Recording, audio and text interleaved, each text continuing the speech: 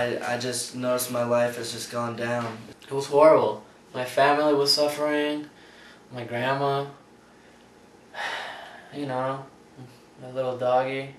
It's been three years since I've drank an energy drink. I just didn't have the energy, you know. All the sugar, taurine, caffeine, just those things really harm your body over uh, long periods of time. They claim to be refreshing. Is there a lot of people in the group? There's about 150. Caffeine, taurine. It's not healthy.